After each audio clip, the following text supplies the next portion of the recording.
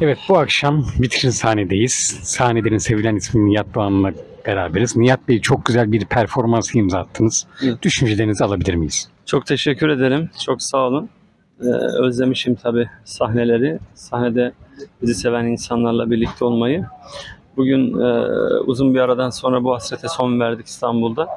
Gayet de çok da güzel oldu. Mekan e, yani inanılmaz derece güzeldi, doluydu.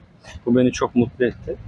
Bundan dolayı e, gelen herkese sonsuz müteşekkirim. Başta çok değerli hanımefendiler olmak üzere.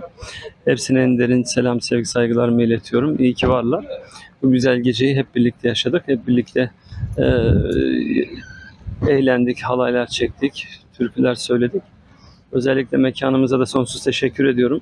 Mekanımızın gerek e, bütün valesinden çalışan herkese kadar inanılmaz kaliteli insanlar. İnsanlarla haklı ikili ilişkileri, sanatçıya saygısı son derece kıymetli. Mekanı çok sevdik. İnşallah Allah nasip ederse tekrardan e, vitrin sahnesinde bir galada yapabiliriz diye düşünüyorum.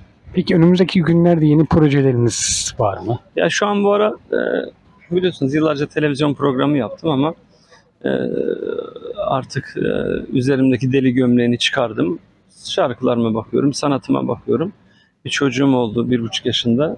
E, onun geleceğini, hayatını, e, sosyal yaşam standartlarını daha da yükselmesi noktasında sadece şarkı söylüyorum. E, televizyon programı yapmıyorum. Televizyon programı yapmayı da düşünmüyorum. Çünkü sabahtan öğlene kadar televizyonda konuşuyoruz. Öğlenden akşama kadar da mahkemelerde konuşuyoruz. Artık gına geldi, illallah geldi. Dediğim gibi deli gömleğimi üzerinden çıkardım. Prodüktörüm Sayın Sercan Eriş'le birlikte e, gece gündüz stüdyodayız. Sürekli klip çıkarıyoruz. Yeni Maşallah adlı klibimiz çıktı. Allah nasip ederse bir ay sonra da yine çok güzel slow bir sözümüzü bana ait olan e, slow bir şarkımızla klibimizi çekeceğiz. Bu şekilde hayatımıza devam ediyoruz. Çok teşekkürler. Ben teşekkür ederim. Size de teşekkür ederim. Ayağınıza sağlık. Buraya kadar geldiniz. Bu saate kadar bizi beklediniz, dinlediniz.